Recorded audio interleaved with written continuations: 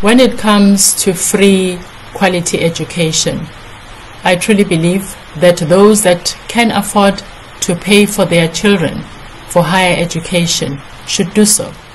But those that are poor and they are not in a position to pay for higher education should be supported by government, by society, because that's the only way we will eradicate poverty. That's the only way we will eradicate inequality amongst society.